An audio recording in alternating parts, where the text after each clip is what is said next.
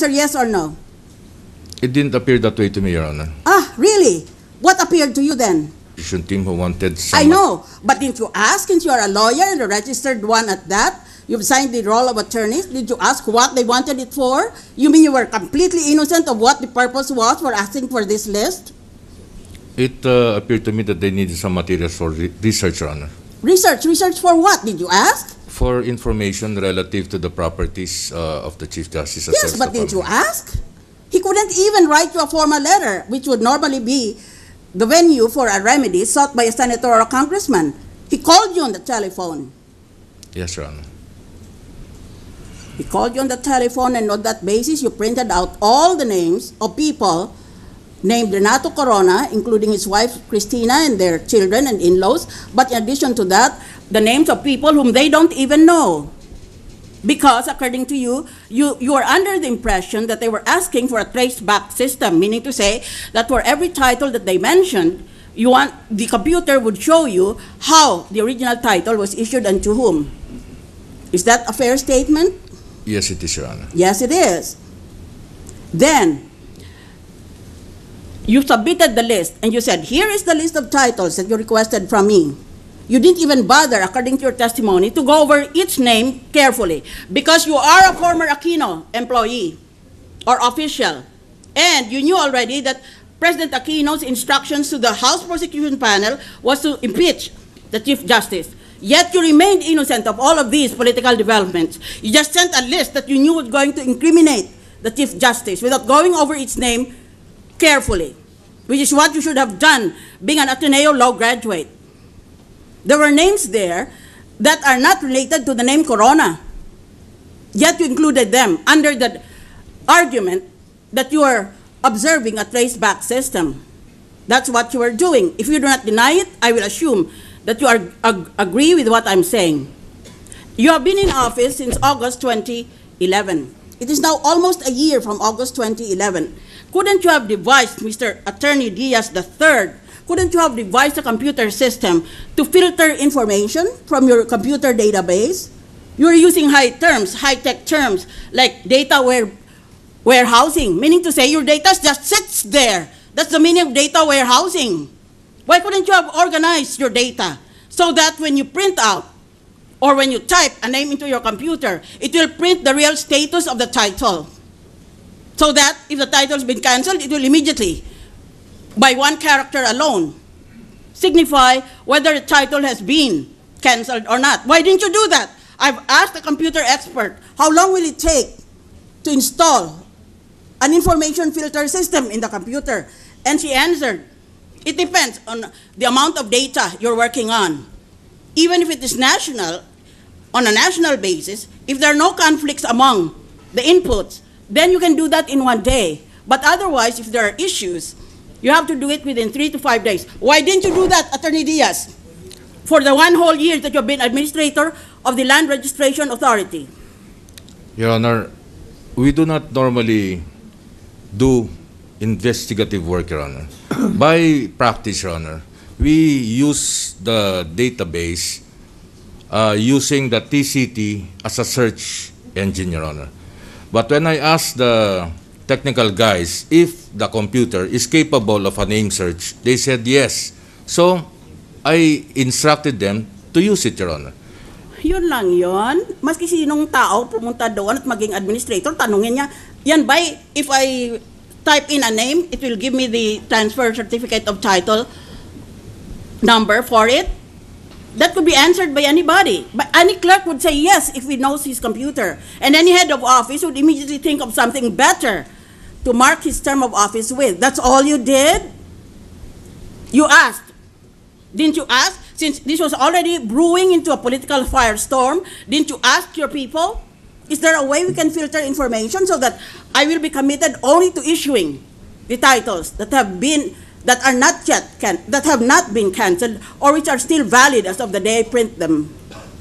That was not the intention of the requester, Your Honor. Uh, what was the request then? To get an information relative to the Therefore, it was a dragnet. Is that what you're trying to say? Drag a net as widely as possible and then give me all the names related to these people. That's it? Th- I think that was the intention, Your Honor, for them to do a study, Your Ah, Honor. ngayon, lumilitaw na sinabi pala sa media ng prosecution, 45 ang properties nitong defendant na ito.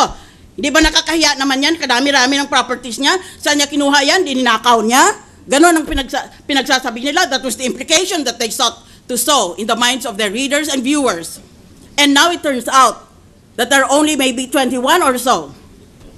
Oh, hindi mo ba naisip na magiging ganon ang consequence niyan? You're an Ateneo Law graduate and you're a lawyer. I just forwarded the documents as You they are an came. automaton. Sino ngayon may kasalanan? Prosecution o ikaw? Answer me. Look at look in my eyes. Look me in the eye. I have no fault here, Your Honor. Ah, wala ka. O, di sila.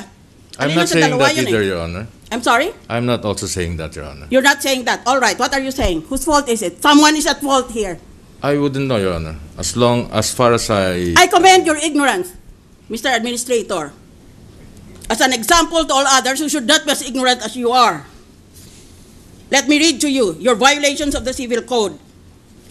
First, the provision on quasi-delicts in the Civil Code, Article 2176. Whoever by act or omission causes damage to another, there being fault or negligence, is obliged to pay for the damage done, period. Such fault or negligence is called a quasi-delict. You are guilty of negligence. Not only of negligence, but of gross negligence. Either you or the prosecution, nobody else.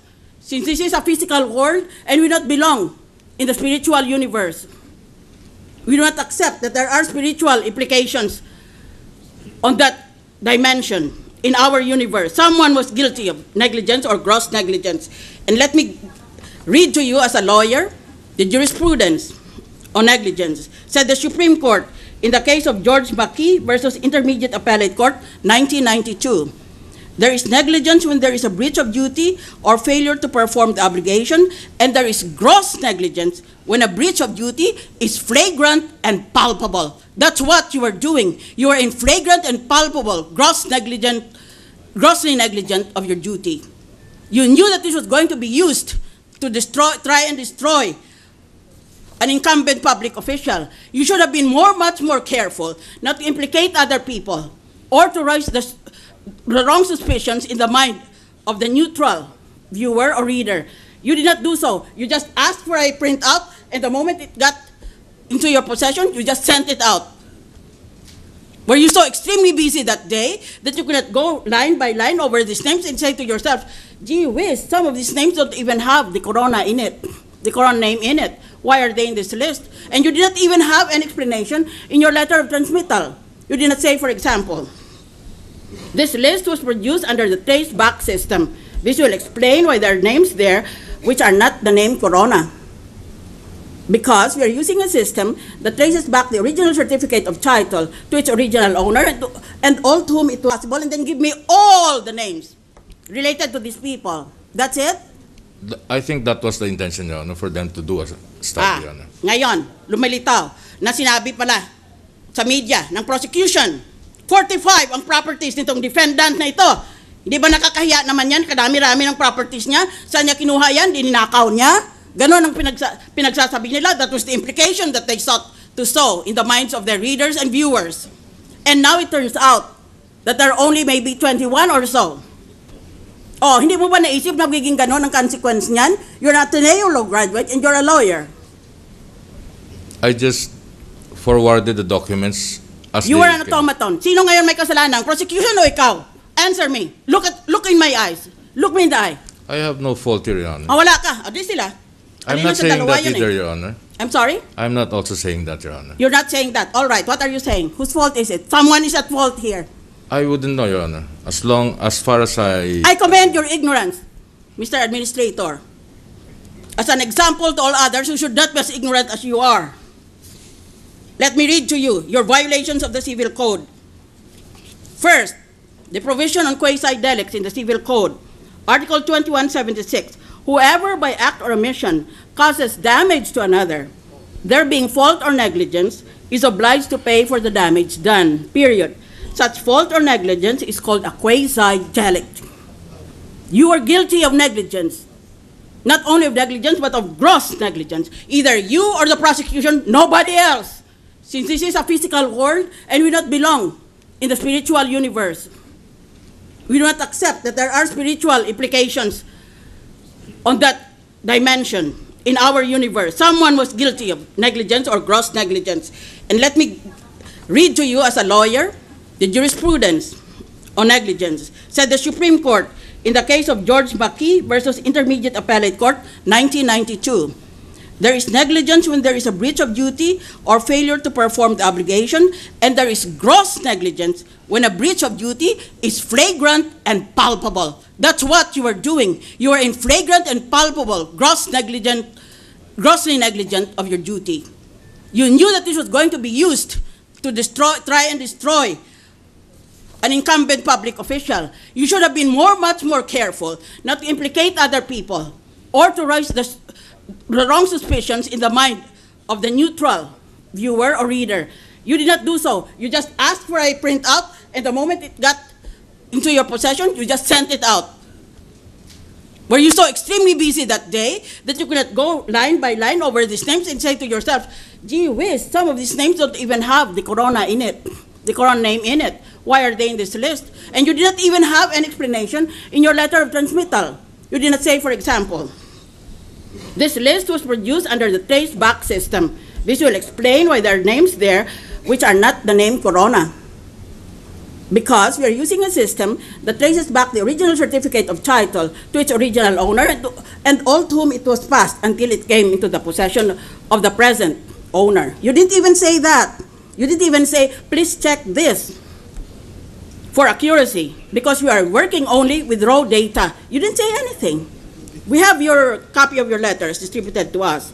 Let me also tell you, as a lawyer, in the case of Jimenez Enterprises versus Ombudsman, this 2011, for an action to constitute gross inexcusable negligence, it is essential that the breach of duty borders on malice and is characterized by fragrant, palpable, and willful indifference to consequences insofar as other persons may be affected. What do you have to say to that, Attorney Diaz? Was that what you learned in your law school? You knew it would affect adversely other people, have no relation whatsoever to this case. Yet you issued a document that was highly incriminatory of those people. I, I give you a, an opportunity to rebut me. yes, Your Honor. First of all, Your Honor, the I am not a party to this case.